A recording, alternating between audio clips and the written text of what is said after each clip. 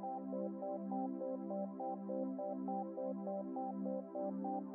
A movement of money for investing, trade, or business production, whether by a corporation, a government, or an individual, is commonly referred to as capital flows. A corporation's investment capital plus its spending on operations and research and development comprise its capital flows. The tax revenue a government directs into its programs is its capital flows, as is the money it spends and collects through trade with other nations. A positive capital flow means a nation is receiving more money from foreign sources than it's paying to invest in foreign sources. Individual investors put their capital flows into securities like stocks, bonds, and mutual funds. The U.S. government and other organizations study different types of capital flows. Specific areas include asset class movements, which analyze the flow of capital between stocks, bonds, and other investments. Venture capital, which looks at investments in startup businesses. Mutual fund flows, which is the net additions or withdrawals from broad classes of funds. Capital spending budgets that examine corporate growth,